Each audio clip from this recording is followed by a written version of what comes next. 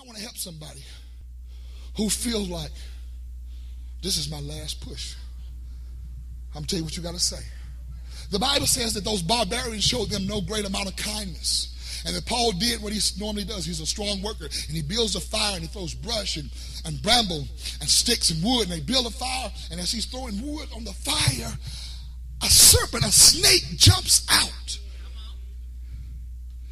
Oh, gosh, shut up. And let me tell you, a serpent jumps out and sinks his teeth, his fangs, into his forearm. But guess what the man of God did? This is what I believe he did. I believe he said, you know what? Not this time. My God, I just had come through hell and high water. My God, I just come out of a situation when I couldn't even see my way through. And a snake jumped on me. My God, not this time. And he threw the thing back in the water. He threw it back really into the fire.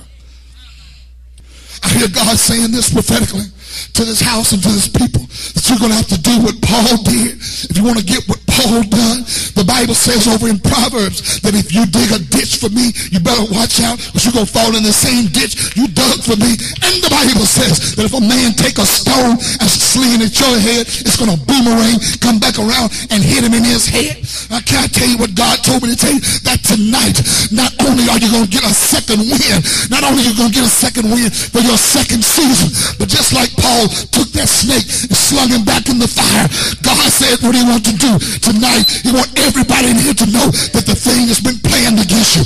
The plan they put on you. The plan they talked about. The plan they said would work. The weapon they said would prosper. God told me to tell somebody, if it ain't but five folks, I need five warriors to step right up here. God told me to tell you the thing is going to backfire. Backfire. Backfire. Backfire.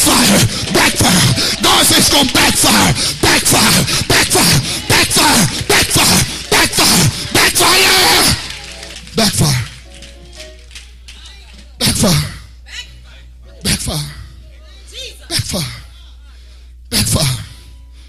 Backfire because you've been faithful. What does backfire mean? That means the marriage breakup that's supposed to make you lose your mind. You didn't lose your mind. It have already started to manifest. The emotional stress and breakdown. Give me some music. Has backfired. The thing they said would take you out is taking you to another level.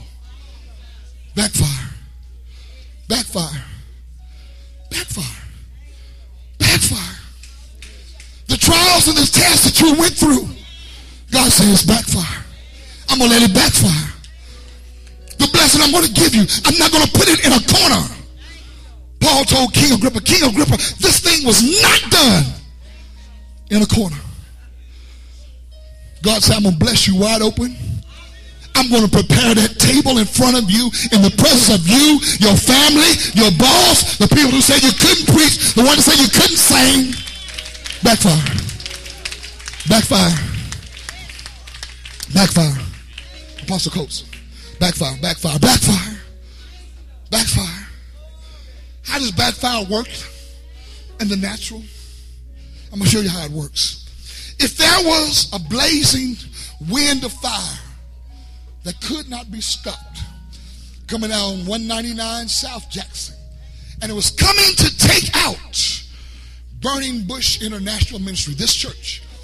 Here's how me and Prophet Pastor Pew would handle it. What we would do is we would determine the rate of speed the fire is coming. Just a little lower. And then we would sit down and what we would do, we wouldn't even wet this building. We would not even wet the grass. Somebody stay with me. But here's what we would go and do. We would get in front of the fire and in front of this church and we would burn, baby, burn. We burn 20, 30, 50 yards. So when the fire reaches the area that's already burned, it don't have no effect. Let me give you your revelation. Well, here's your defense. When Larry comes calling and say, baby, can you meet me at one o'clock? I know how you like it. I know what I want to do. You can say, well, Larry, I'm sorry. The thing has already backfired. God had already burnt that out of me. He burnt that out in the midnight hour. I've already been through that. That don't affect me no more. My God, will Sarah tell you, listen, I know your wife can't do what I do. Well, Sarah, I'll tell you what, I hope it was good the last time because that was your last time. That thing already been burned out. God, let me go through the fire. It's burned out. And guess what? The devil playing between me and you. It's the backfired. Backfire worked because the thing you thought that was killing you, he was actually releasing to preserve you. Why? The reason why he put you in check about your sexuality is to burn that out so that you will be preserved when the true man, the true woman of God present themselves. And you won't be used up are burnt out.